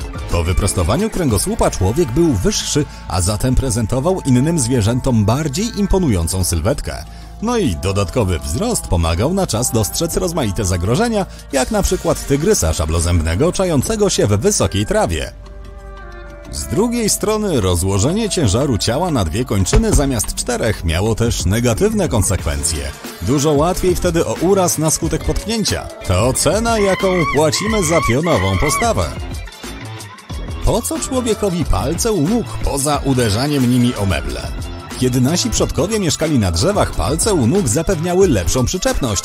Gdybyś posiadał palce swojego małpiego praprzodka, mógłbyś nogami robić wszystko. Pracować na komputerze, rysować i gotować. To jeszcze jedno cięcie, którego dokonała u nas ewolucja.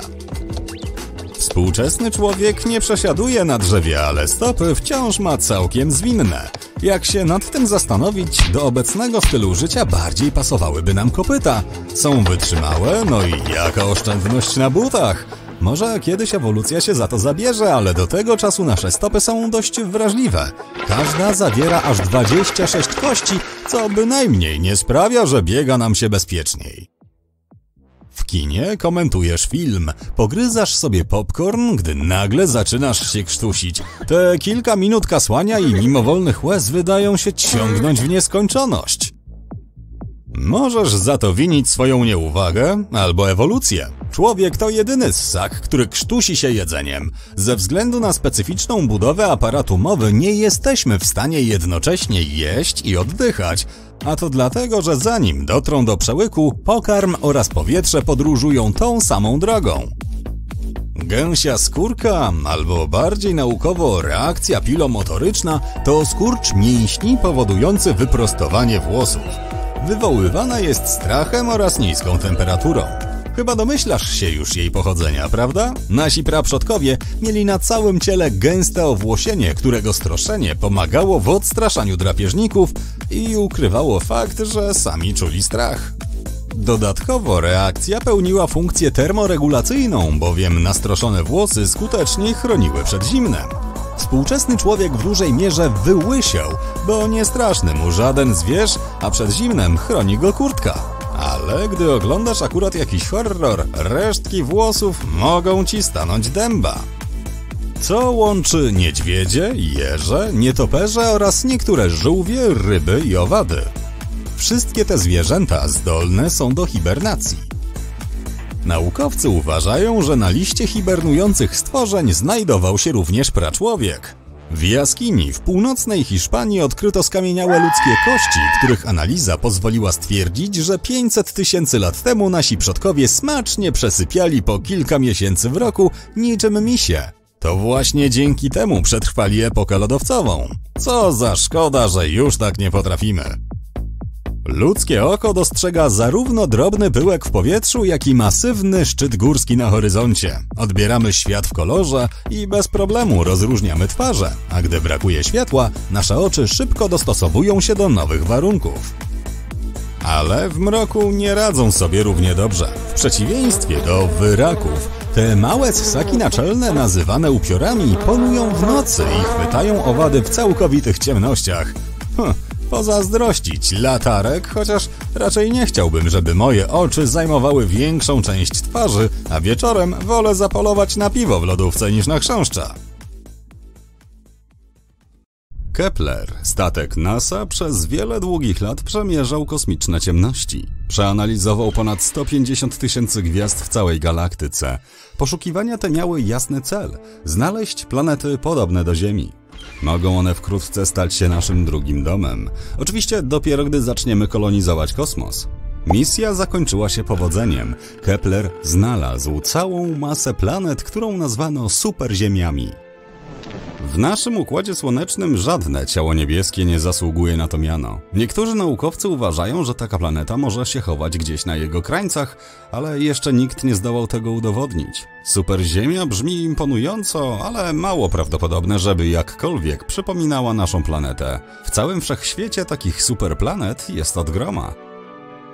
Aby nią zostać, ciało niebieskie musi być od 1 do 10 razy cięższe od Ziemi. Musi być również dwukrotnie większe i zasilane energią swojej gwiazdy.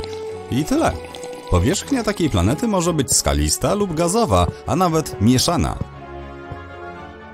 Wyobraź sobie życie na takim globie. Jest taki sam jak nasz i ma nawet podobną atmosferę, klimat oraz krajobraz, tyle że jest kilkukrotnie większy. Nasze życie wygląda tu zupełnie inaczej. Ze względu na większą masę, grawitacja tej planety jest odpowiednio silniejsza. W tym świecie nie ma wysokich drzew czy gór. Everest jest kilkukrotnie mniejszy.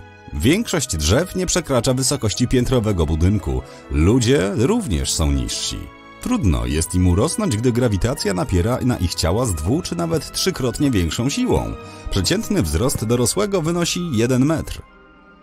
Obecnie Ziemię zamieszkuje około 8 miliardów ludzi. Większe miasta są dość zatłoczone, ale powierzchnia superziemi jest dwukrotnie większa, no i ludzie są niżsi. Jeżdżą małymi samochodami i mieszkają w mikrodomkach, dlatego jest tu tyle miejsca. Powietrze jest czystsze i nie odkryto jeszcze wszystkich zakątków tej planety.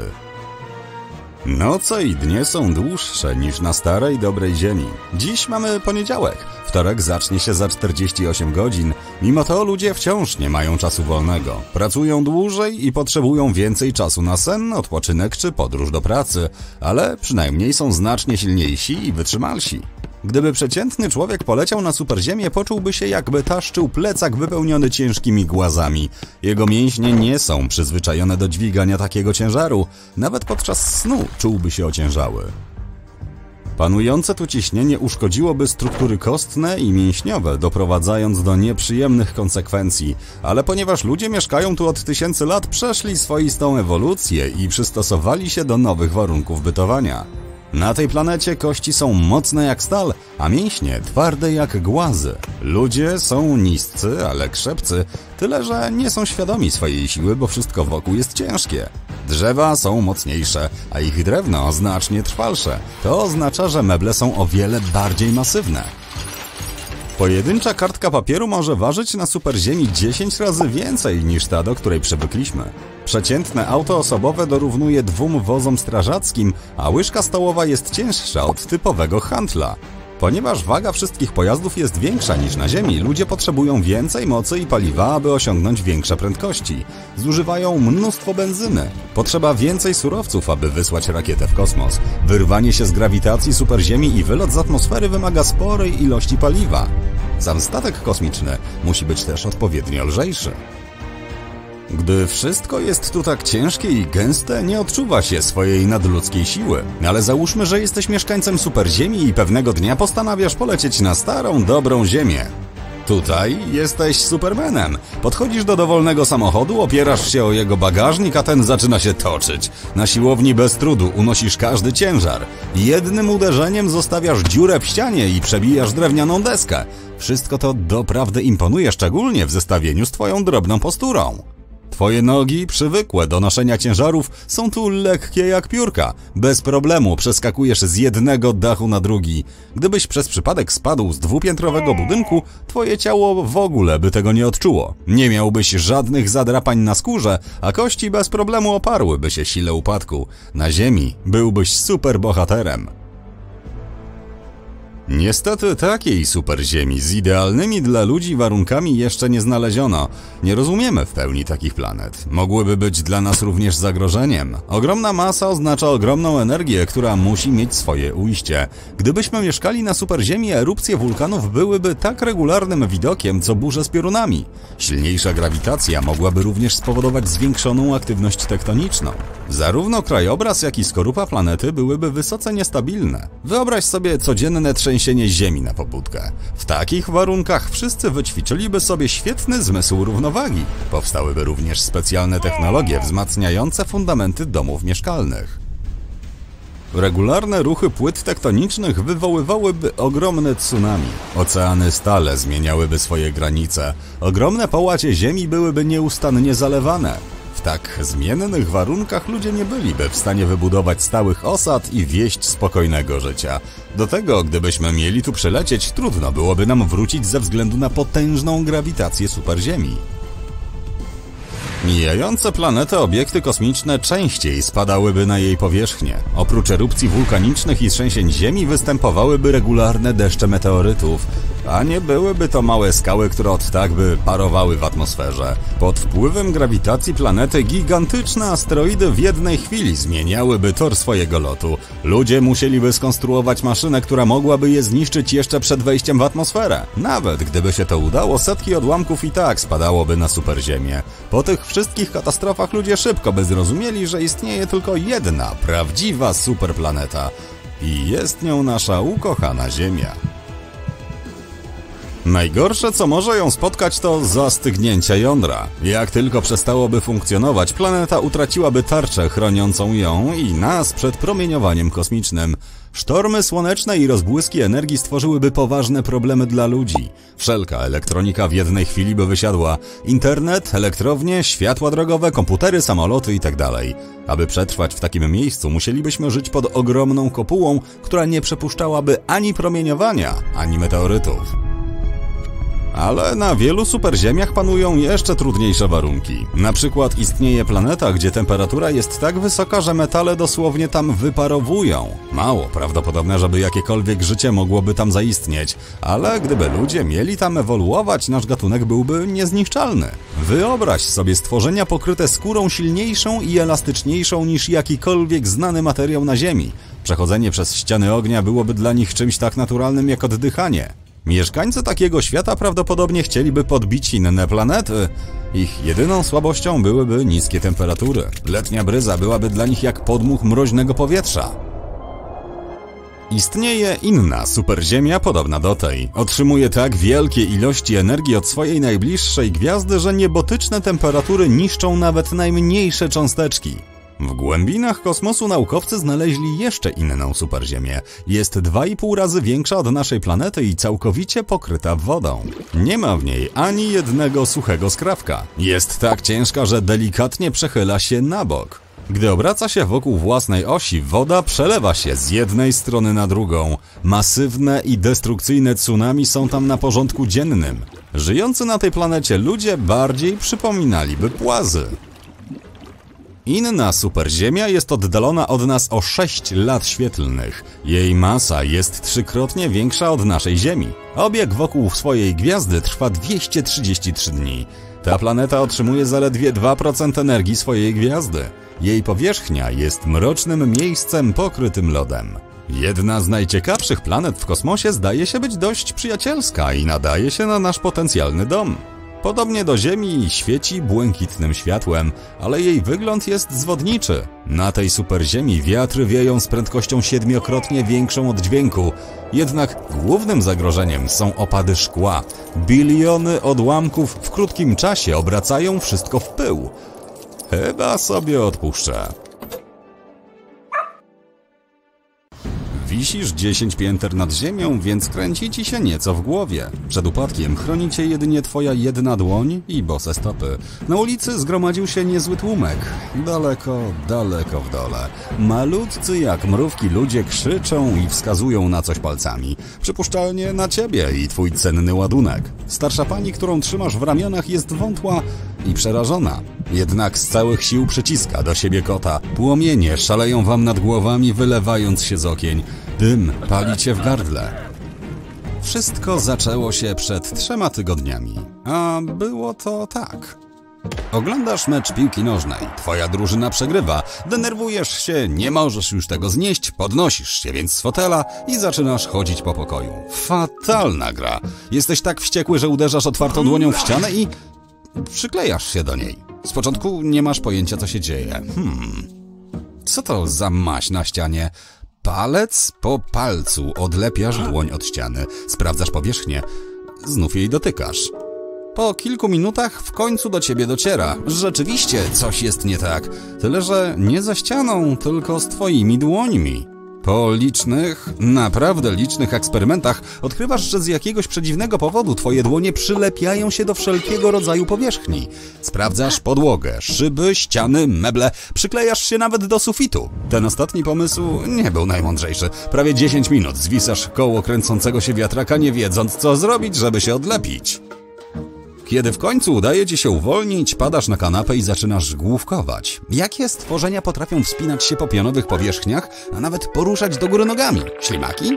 Tyle, że one wytwarzają śluz, który pomaga im się przemieszczać. Rzut oka na dłonie.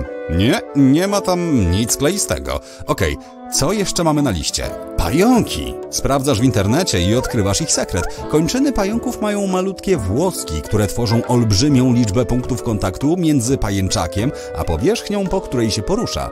Rzut oka na dłonie. Czy są owłosione? Niby nic na to nie wskazuje. Ale potem sobie przypominasz, chwila, gdzieś o tym czytałeś. Im większe i cięższe zwierzę, tym drobniejsze włoski. Na przykład u chrząszcza mają one grubość mniej więcej jednej dziesiątej ludzkiego włosa, ale już włoski gekona są pięciokrotnie mniejsze. Czy to możliwe, że twoje ręce faktycznie są pokryte maleńkimi włoskami, tylko twoje oczy nie są w stanie ich dostrzec? W końcu twoje myśli biegną w innym kierunku. Postanawiasz sprawdzić w praktyce, jakie możliwości daje ci twoja nowo nabyta moc. Czy na przykład jesteś w stanie chodzić po suficie? Sprawdzasz i eksperymentujesz, by dowiedzieć się, co następuje. Podeszwy twoich stóp są tak samo lepkie, jak dłonie. Po 3,5 minutach wiszenia do góry nogami zaczyna ci się kręcić w głowie. Nie możesz się odkleić i po prostu spaść na ziemię, choćby nie wiem co. Powinieneś być bardziej uważny, by nie uderzyć głową o wiatrak na suficie i... Nie, nie jesteś w stanie przelecieć z jednej ściany na drugą, tak jak robią to superbohaterowie. Auć, zdobywanie tego doświadczenia było bolesne. Po wielogodzinnych ćwiczeniach i eksperymentach oraz zignorowaniu siedmiu telefonów od swojego przypuszczalnie hm, z pewnością wściekłego szefa decydujesz się wypróbować swoje umiejętności na zewnątrz. Mieszkasz na czwartym piętrze. Niby nie jest to wysoko, ale upadek i tak nie byłby przyjemny, gdyby twoje dziwaczne zdolności nagle przestały działać. Bierzesz łyk soku pomarańczowego, żeby nabrać odwagi i otwierasz okno. Samochody jadące ulicą tam w dole nagle znają się znacznie mniejsze niż dziś rano. Przedziwne. Nabierasz powietrza i robisz krok do przodu. Nie jest źle, przynajmniej nie runąłeś od razu na ziemię. W zasadzie to trzymasz się całkiem mocno ściany przy oknie. Pora ruszać. Jesteś już niemal na wysokości drugiego piętra, gdy postanawiasz zrobić sobie przerwę. Ale wtedy twym oczom ukazuje się twarz. Blade oblicze z szeroko rozdziawionymi ustami. Oczy wyrażają jakąś silną emocję. Przerażenie oczywiście. No tak, to musi być twój sąsiad z dołu. Chciałbyś mu powiedzieć, że nie ma się czym martwić, ale mężczyzna cię nie słyszy.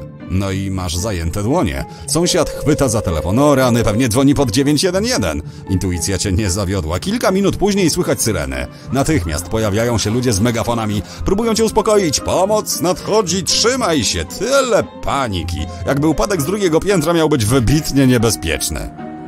Tym niemniej cała ta sytuacja cię przerasta. Denerwujesz się tak bardzo, że zamiast zejść na dół, wspinasz się z powrotem do swojego mieszkania. Wszystko cichnie. Chowasz się w łazience i wypijasz kolejną szklankę soku. Pół godziny później podciągujesz się ostrożnie do okna. Na dole jest pusto i cicho. Minął tydzień. Pora pogodzić się z gorzką prawdą. Sąsiad z dołu uporczywie cię unika.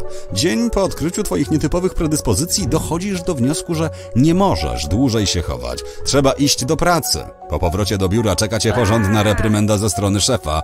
Potem zabierasz się za stos papierów, który zdążył urosnąć na twoim biurku. Pod koniec dnia pracy czujesz się kompletnie wypluty, ale na jedynej drodze ewakuacji z biura stoi szef rozmawiający z jednym z pracowników. Debata jest ożywiona, nie wygląda, żeby miała się wkrótce skończyć. Chwileczkę, przecież masz supermoc. Nie można jej chyba wykorzystać lepiej niż do wymykania się z różnych miejsc. Ostrożnie otwierasz okno i wydostajesz się z biura. No, patrz, praktyka czyni mistrza. Mijają tygodnie, a ty odkrywasz coraz więcej zastosowań swoich umiejętności wspinania się po ścianach. Nie potrzebujesz już na przykład krzesła, by wymienić żarówkę, ale musisz to robić szybko, bo po trzech minutach zaczyna ci się kręcić w głowie. Wspinasz się też na szczyt, o którym zawsze marzyłeś, jednak przedtem było to zbyt trudne. Pewnej nocy próbujesz nawet wspiąć się na wieżowiec. Musisz jednak przyznać, że to potwornie męczące. Ratujesz też całą furę kociąt, które utknęły na dachu czy drzewie. A teraz masz nawet do opowiedzenia iście sensacyjną historię. Pewnego wieczoru na ulicy dopada cię banda złodziejaszków. Czają się na twój portfel i telefon. Hm, nie tak prędko. Uciekasz, wspinając się po gładkiej pionowej ścianie. Tego się nie spodziewali. Nieźle ich nastraszyłaś, nie ma co. Aż pewnego dnia dochodzi do pożaru. Jedziesz akurat do pracy, gdy nagle dostrzegasz płomienie buchające z mieszkania na dziesiątym piętrze. Tłum zgromadził się już w pobliżu budynku. Ludzie mówią o staruszce, która mieszka tam ze swoim Kolkata. Rozumiesz, że to najlepszy czas, by wykorzystać swoją supermoc. Zdejmujesz buty i zaczynasz wspinaczkę po ścianie budynku. Tłum na dole krzyczy i wiwatuje. Gdy docierasz na odpowiednią wysokość, wybijasz okno i ostrożnie wchodzisz do środka. Tego dnia szczęście ci sprzyja. Starsza pani jest filigranowa. Nie będzie problemu, by ją udźwignąć. Do tego i ona i kot są w tym samym pokoju. Z jakiegoś powodu staruszka niczemu się nie dziwi i nie żąda wyjaśnień. Łapie kota, ty łapiesz ją i już jesteście za oknem.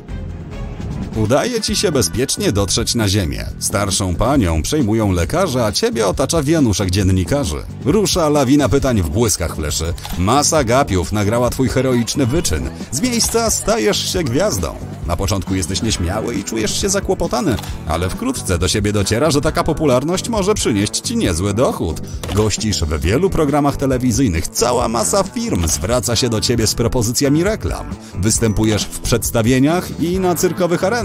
Twoja twarz widnieje na okładkach popularnych magazynów. Zarabiasz mnóstwo pieniędzy, podróżujesz pierwszą klasą i mieszkasz w najdroższych hotelach świata. Ale rok po tym, jak pojawiła się twoja supermoc, dociera do ciebie niezwykła wiadomość. Ktoś inny też ma taką umiejętność. Z czasem coraz więcej osób odkrywa u siebie dokładnie takie same predyspozycje. Po paru latach chodzenie po ścianach staje się niemal powszechne. Co zrobić? Musisz pogodzić się z faktem, że nie jesteś już wyjątkowy. Ale gdy sprawdzasz stan swojego konta, na twojej twarzy ponownie gości uśmiech. Hej, w końcu ty byłeś pierwszy.